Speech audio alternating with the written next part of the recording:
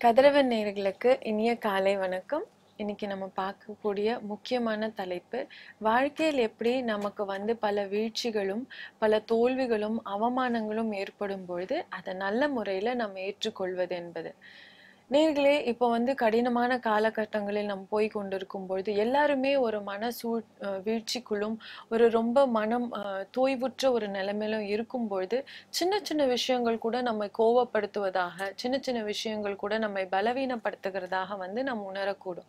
முக்கியமாக பார்த்தோம்னால் வேலை இடங்களில் சரி குடும்பங்களிலும் சரி அவ்வளோ டென்ஷனையும் அவ்வளோ ஒரு மன குழப்பத்தையும் ஒரு மன அழுத்தத்தையும் நம்ம கொண்டிருக்கும் பொழுது வீட்டில் வந்து நடக்கிற சின்ன சின்ன விஷயங்கள் பிள்ளைகள் போ- போடுகிற சின்ன சண்டைகளோ இல்லை பேசுகிற சின்ன வார்த்தைகளோ இல்லை வந்து அலுவலகங்களில் நம் மீது திணிக்கப்படுகிற பாரங்களையோ நம்ம சுமக்க முடியாமல் இருக்கும் பொழுது ஒரு கசப்புணர்வு ஒரு கோபம் ஏற்படும் பொழுது இந்த மாதிரி நேரங்களில் பார்த்தோம் என்றால் இல்லை ஒரு கடினமான ஒரு வார்த்தை சொல்லப்படும் பொழுது யாராவது நம்மளை வந்து அ- அளவுக்கு அதிகமாக திட் திட்டும் பொழுது இந்த மாதிரி நேரங்களில் ரொம்ப ஒரு கோபமான ஒரு மன எரிச்சலுக்குள் நாம் செல்லுகிறவர்களாக இருக்கிறோம்.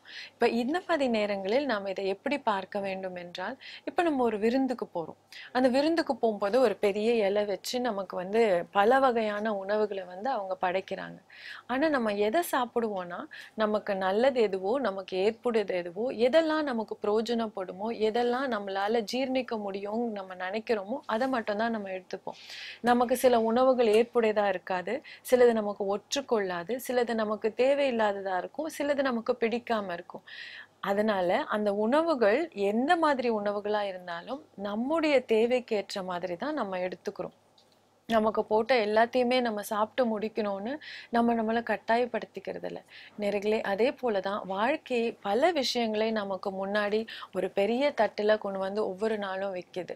ஆனால் எது எது நமக்கு பிரயோஜனப்படுமோ அது வருகிற ப- விஷயம் வேணால் ஒரு கடினப்பாடான ஒரு விஷயமா இருக்கலாம் ஒரு கசப்பான விஷயமா இருக்கலாம் ஒரு கோபம் விளைவிக்கிற ஒரு விஷயமா இருக்கலாம். ஆனால் அதற்குள்ளும் ஒரு நன்மை இருக்கும் என்பதை நாம் உணர்ந்து கொண்டால் கண்டிப்பாக அதற்குள்ள நன்மையை மட்டும் நாம் பகுத்தறிந்து எடுத்துக்கொள்ளக்கூடிய ஆற்றலையும் பொறுமையும் நாம் வளர்த்து கொள்ள வேண்டியது ரொம்ப ரொம்ப அவசியம். எப்படி நமக்கு முன் படைக்கப்பட்ட ஒரு பெரிய பொஃபே பிளேட்ல நமக்கு பிடித்தமானது ஏற்றுக்கொள்ளக்கூடியதை நாம் பார்த்து பகுத்தறிந்து எடுத்துக்கொள்கிறோமோ அதே போல வாழ்க்கையை நம்ம தருகிற எல்லா அனுபவங்களிலும் நன்மையானதை நமக்கு தேவையானதை நாம் எடுத்துக்கொண்டு மற்றவற்றை விட்டு விடுவது நமக்கு ரொம்ப ரொம்ப முக்கியமும் நமக்கு வாழ்க்கையை அழகுபடுத்துவதும் நம்மளுடைய முழுமைப்படுத்துவதுமாய் அது அமைகிறது. அதனால நம்ம எடுத்துக்கொள்ளுகிற விஷயங்கள் உள்வாங்கி கொள்ளுகிற விஷயங்கள் நாம் அதன் மீது செயல்படுகிற விஷயங்கள் நன்மையானதை மட்டுமே நாம் எடுத்துக்கொள்ள வேண்டும் என்ற தீர்மானம் இன்னைக்கு நம்ம பண்ணோம்னா கண்டிப்பா